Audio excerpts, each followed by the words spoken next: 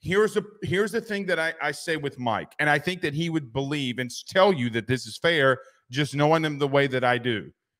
Joe, he's going to have to produce at Notre Dame for me to put him at one because I, I do think that there's something to be said when you come to a school in the SEC with arguably two fifth, top 15 wide receiver, two picks at, at wide receiver with Malik Nabers and Brian Thomas Jr., he's not going to have, or top 20, whatever you want to call him. I, I don't really care. He's not going to have the weaponry at Notre Dame. I do think that Mike benefited a lot from having Jayden Daniels, Malik Nabers, and Brian Thomas Jr. There were times, okay, that people question his play calling, but I think that Jayden Daniels bailed them out of a lot of bad situations. That does not stop for me that I think Mike Denbrock figure out